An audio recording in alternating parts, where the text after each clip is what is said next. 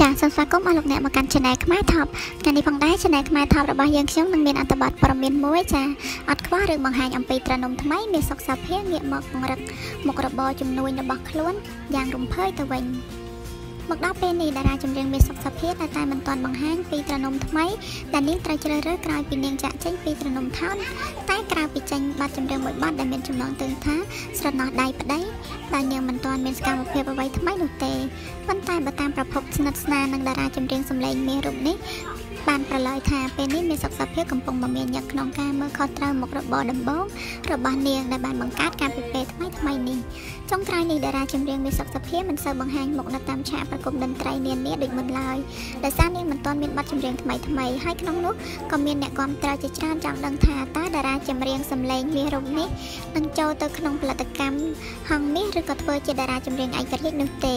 បើតាមការបង្ហាញពីសំណាក់ប្រភពដែលគៀកកាត់ជាមួយតារាចម្រៀងមានសុខភាពបានឲ្យដឹងថាពេលនេះមានសុខភាពបានដកឃ្លាពីការងារសិល្បៈដោយសារនាងកំពុងមមាញឹកជាមួយនឹងមុខរបរថ្មីដែលត្រូវឲ្យគេដឹងថាហាងកាហ្វេទើបនឹងបើកការពិតពេលថ្មីថ្មីនេះនៅឯខេត្តព្រះសីហនុ បើតាមដឹងនេះជាលើកដំបូងដែលមានសុខភាពបានបើកជំនួយបន្ថែមពីលើអាជីពចម្រៀងនាពេលបច្ចុប្បន្នហើយការលើកឡើងនេះស្របពេលចុងក្រោយគេតែងតែឃើញមានសុខភាពនិងគូស្នេហ៍លោកអិតតារា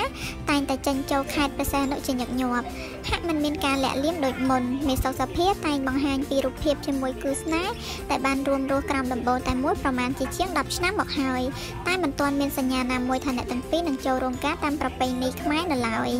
ចាសូមអរគុណអស់លោកអ្នកចំពោះការតាមដាននិងយកចាត់ទុកដាក់ជាមួយ Channel ខ្មែរ Top របស់យើងខ្ញុំសង្ឃឹមថាអស់លោកអ្នកពេញចិត្តចានឹងជួយចុចពាក្យ Like ក៏ដូចជា Subscribe នៅ Channel របស់យើងខ្ញុំដើម្បីទទួលបាននូវព័ត៌មានដែលថ្មីលឿនរហ័សនិងមុនគេតែម្ដងចាសូមអរគុណសូមជម្រាបលា